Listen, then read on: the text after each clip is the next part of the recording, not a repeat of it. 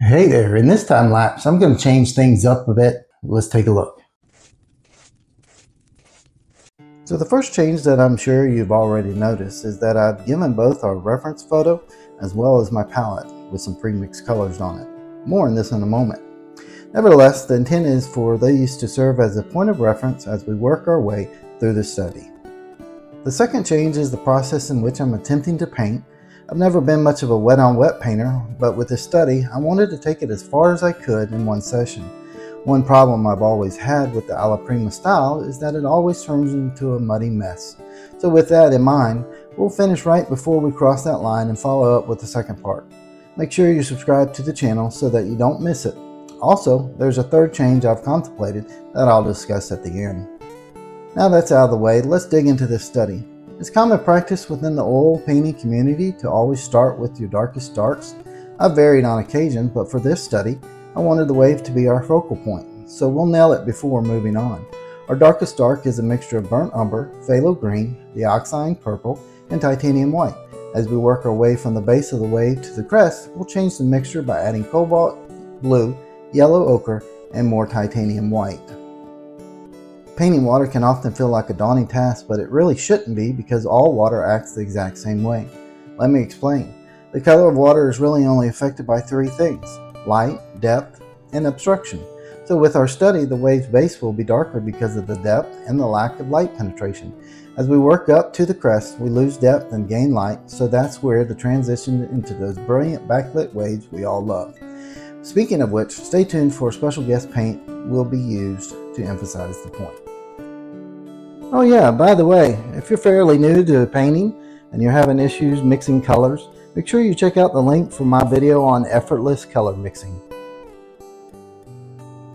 Okay, let's slow it down and take a look at the next area of our study, the whitewater. Whitewater or foam is probably one of the most fun things to paint on a wave. There's really no wrong or right way to do it.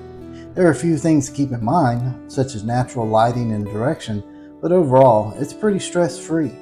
I've started here with a mixture of titanium white, cerulean blue, viridian, and a dash of ivory black and dioxazine purple. Within the scene, you'll see this area is in the shadow of the wave, so that's what gives it its bluish tone. As we move out of the shadows and progress towards the sun's reflection, this color will lighten up, even taking on an orangish appearance. The first key to painting realistic whitewater is the understanding it's not always just white.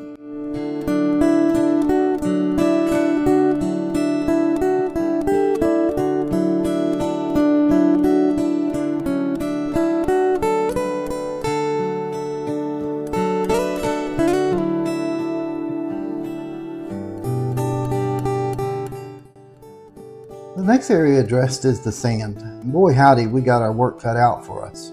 Not only do we have to contend with the sand, but there's also wet sand, rippling water, and the sun's reflection. I've started here with a mixture of titanium white, yellow ochre, cobalt blue, and dioxazine purple. Although this mixture would greatly change throughout this area, it's often reserved primarily for the shadows. The closer we move towards the sun's reflection, the more we begin to pick up those brilliant oranges and yellows, which are a variance of titanium white, lemon yellow, cadmium orange, and a dash of cerulean blue to desaturate.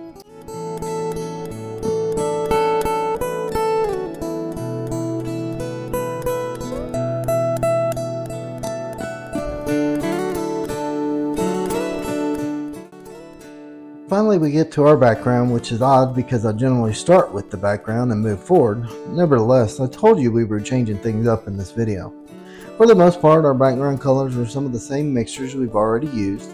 We'll paint the places between the waves with the orange mixture and the incoming waves with the purplish hue. The only change I found was adding a bit of ultramarine blue to darken up some of the areas of the waves and to the far edges of the scene where the sun's reflection is less noticeable.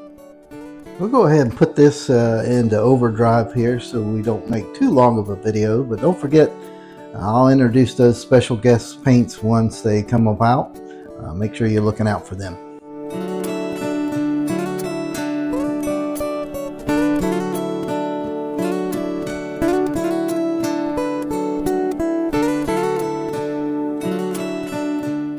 Alright, so for our first special guest paint, it's a paint by Gamblin It's part of the Radiant series. This is a Radiant Green. Uh, I generally don't use paint straight out of the tube, but when you're trying to get that backlit color on a wave, well, there's nothing better than this Radiant series from Gamblin. Uh, just take a look and see how it changes the color of that area.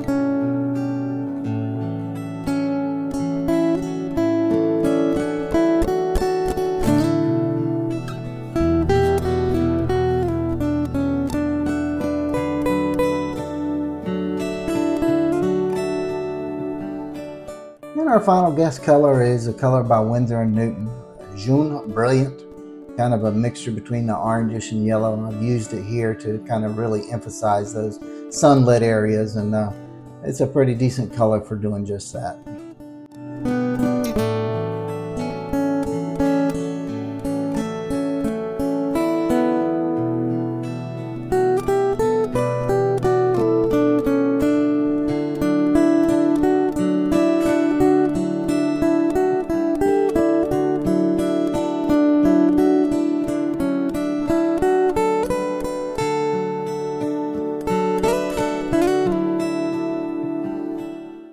I'm wrapping up this background area, this is one of the particular areas I spoke of earlier about contemplating changing.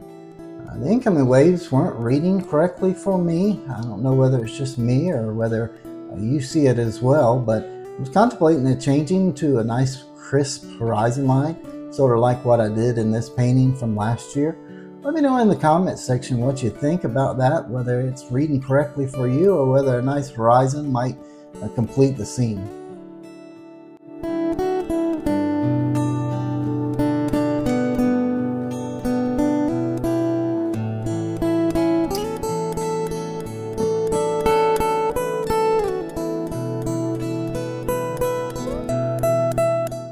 So as always, it's been a pleasure getting to show my work with everyone and I hope you enjoyed it. Uh, if you did, make sure you give me a comment. Let me know about that horizon change also. If you're not subscribed, go ahead and click that subscribe button so you don't miss out on the second part of this. I'm looking forward to completing this little study and seeing where it turns out to. Until next time, happy painting.